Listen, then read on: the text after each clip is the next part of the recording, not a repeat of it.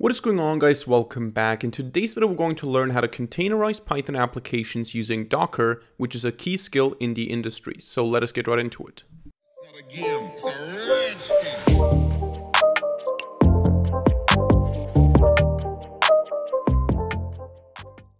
Alright, so for this video you will obviously have to install Docker on your system. Maybe you already have it, maybe not. If you don't have it, you just have to go to docker.com slash getdocker or docs.docker.com slash docker. You will find a link in the description down below. Here you can choose your operating system, in my case Windows, and you can just follow the installation process. It's quite simple. You download Docker Desktop, for example. Uh, you will need to have the uh, Windows Subsystem for Linux to backend or the Hyper-V backend. So one of the two virtualization features or environments. Uh, I have a video on the Windows Subsystem for Linux already. So if you want to know how to install it, you can watch that video. Otherwise, you can also just follow the installation guide here on docker.com. But you will need to have Docker installed. This is basically the containerization environment, you could say. Um, and the basic idea of using Docker or containerization in general is to package and deploy uh, applications in containers and making everything more uh, consistent and reproducible. So if you have a container, this container will just run. It will just run. It's a virtualized environment, you could say, and it will just run without um, you worrying about the compatibility with your system. You can package and run applications uh, in those containers, uh, and this overall improves efficiency and scalability. So it just makes sense if you have something that you want to be able to run everywhere, you can just ship it in a container. And if the environment supports running containers, you can just run it everywhere. That's the basic idea of using Docker, of using containerization. All right, so once we have Docker installed, we can go to the development environment of our choice, in my case PyCharm, and we can write a simple Python script that we then want to containerize, that we then want to Dockerize, uh, and in this case, I'm going to do two different uh, containers. I'm going to do two different applications that we're going to containerize. The first one is going to be a simple Python script that runs a socket, so a server you could say. And if you connect to that socket, it will give you some information, and this information will be uh, taken from a third-party module so that we have some dependencies here. Um, so this is not necessarily a useful script. This is just something that works and I'm going to show you how it works in a container. The basic idea is we're going to have a server socket and if you connect to that server socket, you're going to get uh, one feature, some data from a data set that is loaded from scikit-learn. And the only reason we do that is so that we have a dependency on scikit-learn so that we can see how to install something automatically in the container. Because otherwise we would be just working with core Python modules, socket and something else maybe. So we're going to start by importing the core Python module time. We're going to import also the core Python module socket, and we're going to import, we're actually not import, we're going to say from sklearn dot dataset, datasets, we're going to import load iris. So if you don't have scikit-learn installed, you can just open up your command line. You can type pip install scikit learn like this, and then you will be able to do this import as well. But the good thing is when you ship a container, you don't even have to have it installed on your system. So I can actually, once I have the container, uninstall scikit-learn so that I don't have this Python library on my system anymore. But in the container, it will still know and have scikit-learn. So I can still run the features of scikit-learn, even though it's not installed on my system because it's running in a container. That's the benefit of this. And the basic idea is to say data equals load iris, to then say server equals socket, socket, socket internet socket, so AF inet, socket TCP socket, so sockstream, and then server dot bind. Now, this is here important. We need to bind it uh, on a special interface here, on a special host here, which is the zero in string, of course, uh, in, in quotation marks, of course, 0 0.0.0.0. So we're not hosting this on localhost. We're hosting this on this IP address, which is important for the Docker container. Uh, and we provide a port, for example, 4 times 9. So this basically means the server is now listening on this host, on this port. And now we can say server.listen to actually start the listening. And all we're going to do is we're going to say while true um, client and address is going to be equal to server.accept. So we're going to accept all the time incoming connections. Then we're going to print connection from, and we're going to say that the address just connected. Then we're going to say client sent. And we're going to send something to the client like you are connected. and then we can also add a backslash n because um, on the other side, in this case, for the demonstration, I'm not going to write another Python script. I'm going to run a uh, telnet client, and because of that, we're not going to use the print function, so it's not automatically going to do line breaks, which is why I'm going to send them right away. So I'm going to send you're connected line break, and then this needs to be encoded. Again, the specifics of what we're coding here is not too are not too important because the focus is not on this script we're actually building. The focus is more on the containerization and we're building the script to have something that is listening on a host and that is using third-party packages. That's the basic idea. You can also feel free to use another example if you want to. So client sent, and what we're also going to send here now is we're going to send uh, the first column of the iris data set. So we're going to say data, of course, in uh, curly brackets, we're going to say data, and then we have the key data, and here we have everything from the first column, so the column with index zero. Um, and then we're also going to add a backslash and we're going to encode this. Um, and then we can do something like time sleep, two seconds or something, and then client sent, you are being disconnected, or something like that. And of course, this needs to be encoded as well because we can only send bytes via sockets. Then we're going to close the connection with the client and we're going to listen for new connections. So we're going to accept the next connection.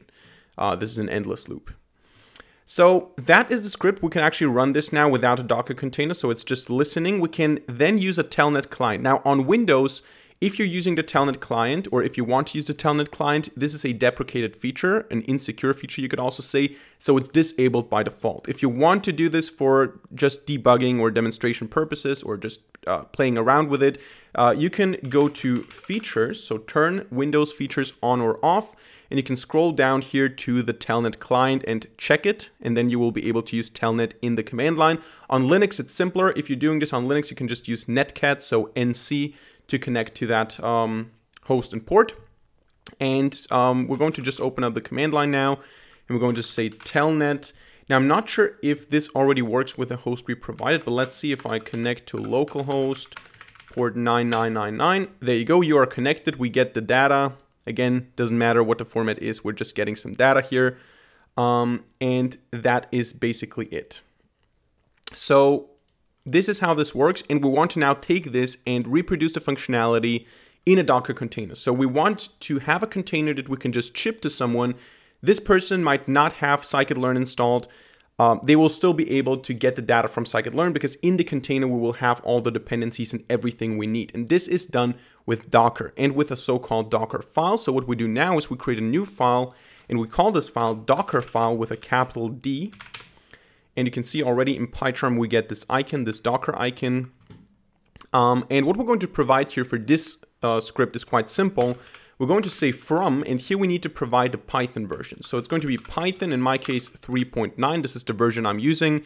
You can, of course, also uh, provide Python 3.10, 3.11, or some uh, stuff like Slim or certain snapshots from previous or something. But I'm just going to go with a classic 3.9.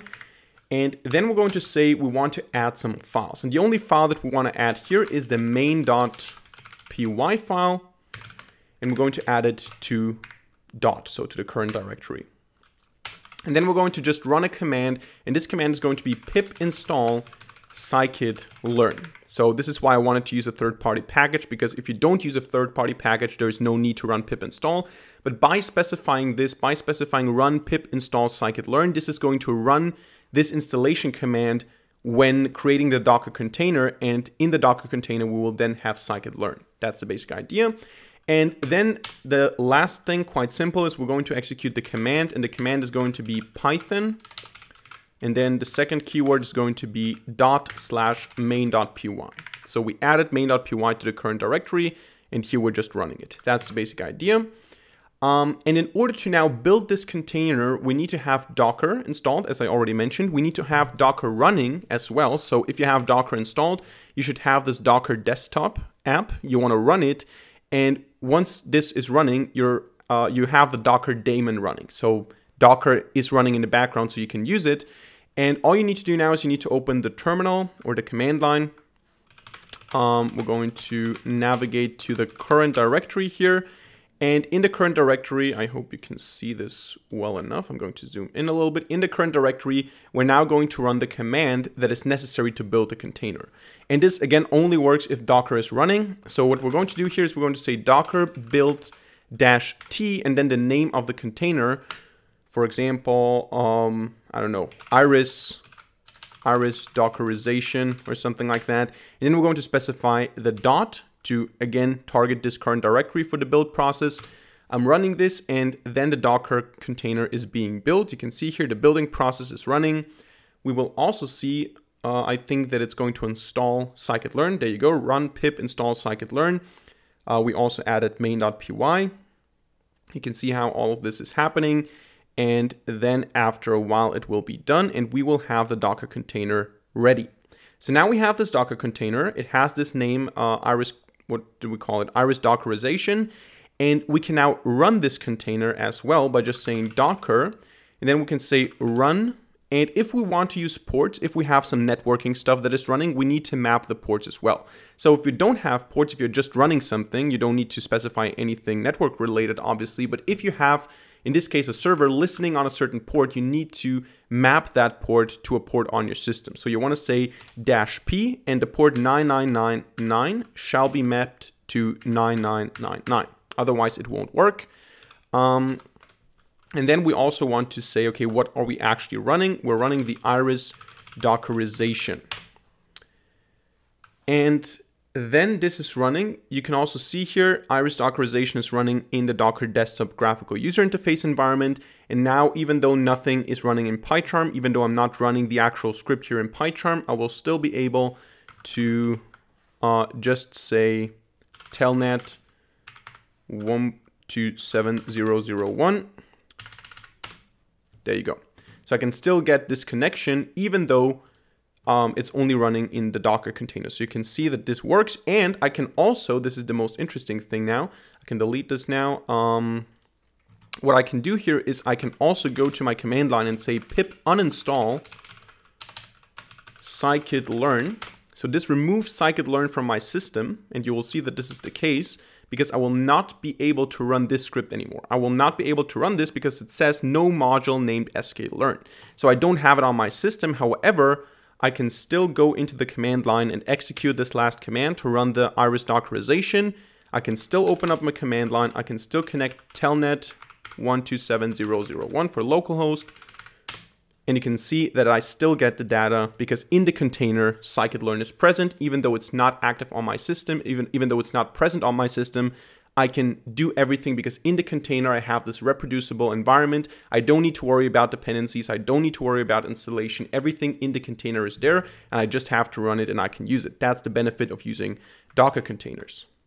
All right, now let us move on to an additional example. We're going to containerize a fast API application and this is oftentimes the sort of hello world example for beginners when it comes to Dockerization and Python. If you Google how to containerize Python applications using Docker, you will oftentimes find examples using Fast API. And because of that, I wanted to include such an example here as well. And for those of you who don't know, Fast API is a simple framework that allows us to easily build REST APIs. I have a video on it as well. And the basic idea is you specify a couple of functions, you map them to a certain endpoint, and then you have your REST API without having to use full-blown uh, web frameworks like Flask or Django. Fast API is, as the name already says, the best library to build a simple API fast. Um, and we're going to build such a simple API now with just a single endpoint, and we're going to containerize it using Docker. So in order to be able to work with Fast API, we're going to use pip to install Fast API and Uvicorn, even though I'm not sure if Uvicorn is not automatically installed using Fast API or by installing Fast, uh, Fast API. Uh, but you need those two things, and then you're going to have to import Uvicorn and also from Fast API import Fast API like this. Then we're going to create a simple application by saying app equals Fast API. And then we're going to provide just a single endpoint just to so that we have something and then we're going to containerize this whole application.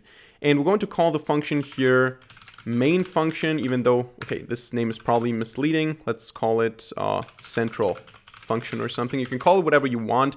And we're going to just return a dictionary here that says neural is the key and 9 is the value. So this is our JSON object. And in order to get this response, you will have to send a GET request. So app.get to the root endpoint. So just slash. That's the basic idea. And now in order to run this, what we do is we say if underscore underscore name equals underscore underscore main underscore underscore. If that is the case, we're just going to say uvicorn dot run. And we're going to run the app. We're going to specify the port 8000 and we're going to say that the host is again 0.0.0.0 and that is basically it. So this is our fast API. Of course, you can make it more sophisticated. You can have multiple different endpoints with multiple different HTTP methods supported and those do some data science work or something. But this is the most basic example, which we're going to use here for the containerization. I can just run this now and then you can see that this is running now on 0008,000. I think I should be able to access it on localhost. There you go. And you can see I get neural and 9. That is our API now, and we can containerize this API with Docker. So I'm going to close this now. And usually you have a structure that is not just a main file. You usually have something like a source folder. So you have src, and then this main file is inside of src, for example. Um, and then we're going to also have, again, a Docker file. So we're going to ha uh, have a, a simple file, Docker file with a capital D again. And in addition to that, this time we're going to provide also a requirements txt file so that we have a file with all the modules needed. So we're going to create a new file here, requirements.txt. And the basic idea is here you just list all the modules, all the dependencies of your application. In this case, UVicorn and Fast API. So just UVicorn and Fast API. If you want to have a specific version, you can just say equals equals and the version number, but we're going to just specify the names now. And of course, if you're using pandas or scikit-learn or matplotlib or anything, you just put it into, into the requirements and then you have to install it, of course, with a certain command in the Docker file. Uh, but we're going to do this um, here. So again, we're going to start with a simple from Python 3.9. We're going to then say the working directory is going to be, let's call this, I don't know, neural dash API. And uh, this just specifies the working directory, the context of this whole thing. And we're going to then copy the requirements txt file into uh, the current directory. And we're going to also copy the source folder. In this case, there's only one file in the source folder, but in general, we're going to copy the whole source, uh, source folder and we're going to say that we want to put it into another folder that has the same name. So we're getting this folder here and we're putting it uh, into a new folder that has the same name. That's the basic idea here. We're using the copy command for this. And then we just say pip install dash r requirements txt because this file is now added to the current directory. We can just use it in the pip command. And once this is done, we just have the same command. So we just specify again Python and then dot slash source src slash main dot py. And this is the Docker file that we need here. Now, what we can also do is we can um, we can basically use the same build command now but we can also specify a name. So I can go into the terminal here, I can navigate to the directory, and I can say again, docker uh, build dash t neural dash API, for example.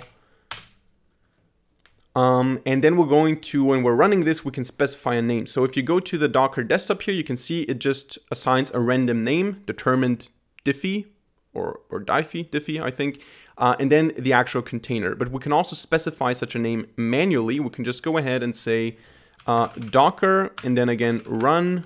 We're going to map 8000 to 8000 again since this is a uh, an API running on a port. We need to map the port again, this port here. Um, and then we can just specify dash dash name and we can say, I don't know, my container name. And then I can specify neural API. And I think I didn't forget anything. So that should work. There you go. You can see it's running. And here we can see my container name. So I can just use it from here now.